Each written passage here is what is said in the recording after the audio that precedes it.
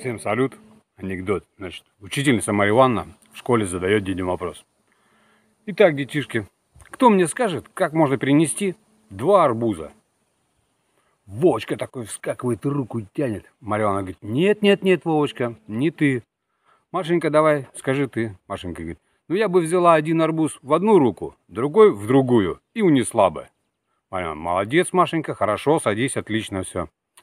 Так, дети, а кто скажет, как перенести три арбуза? Вовочка вскакивает, опять руку тянет. Марья Ивановна, нет, нет, нет, Вова, только не ты. Ты сейчас опять какую-нибудь ерунду сморозишь. Петенька, давай ты скажи. Петенька такой стоит.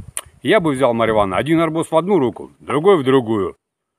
А на мужское достоинство насадил бы третий, Марья Ивановна. Фу, какой ты идиот. Всякие пакости говоришь. Вовочка такой вскакивает. Марья Ивановна, Марья Ивановна, я знаю, как пять арбузов перенести. Марья Ивановна, ну и как же? Вовочка стоит. Я бы взял один арбуз под одну руку, второй под другую. А на мужское достоинство насадил бы Петю.